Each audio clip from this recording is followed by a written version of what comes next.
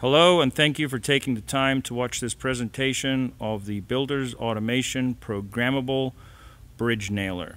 This machine is specifically designed to do fences such as the board on board, stockade with cheater boards, French Gothic, and certain types of picket. the fixture you see currently in the machine, which is easily removable, requires no tools, is set up to do the board on board. The HMI or touchscreen is very user friendly. You can pick the different types of fences just from a simple selection of fence type, stockade, board on board, or even making custom patterns. The unit can also be programmed to set up different speeds. The machine has the potential of running at 28 inches per second. The machine has six guns but can be fitted with more. The triggers are electronic, not pneumatic, and the machine is moved forward and back with a closed loop servo motor. This is what gives us the ability to track the machine's position and fire the nails accordingly. The machine has the ability to raise the fence once it has been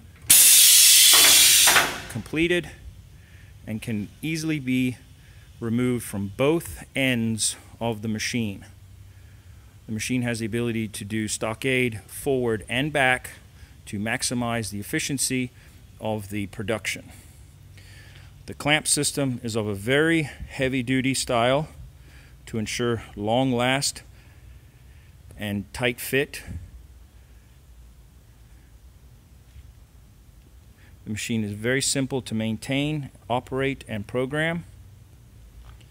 There's allowances for the operators to lay additional guns and tools for the, for the project on shelves. Comes with its own tooling lines.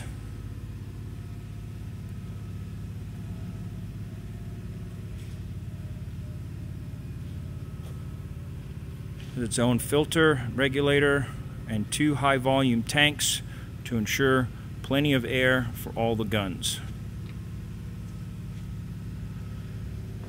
I'm going to be adding in sections of film to show you as it's doing the board on board and the stockade.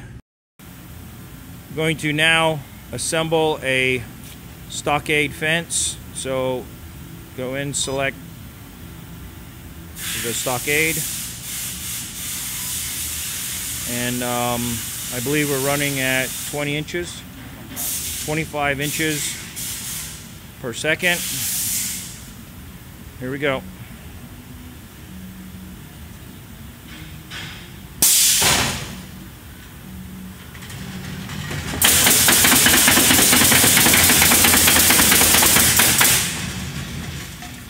Okay, and once the new boards are put in, the unit can be turned and, and perform the same procedure going in reverse. Okay, now we're going to demonstrate how the machine can do board on board. We're going to do the first layer on the first video, then stop, and then show the second layer after we have placed the boards on top. Uh, to select to do board on board, you simply go into fence type select board on board custom make sure the unit is in auto and then hit forward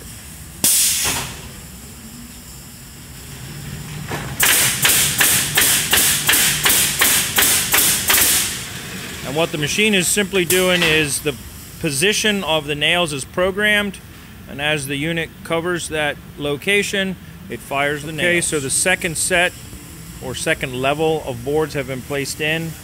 Uh, simply just aligned with the marks on the frame and then aligned in the back just as a simple reference. Once the boards are placed, even boards like this that are quite badly bowed are placed, the operator will press the reverse button and the unit will then fire at predetermined positions within the program.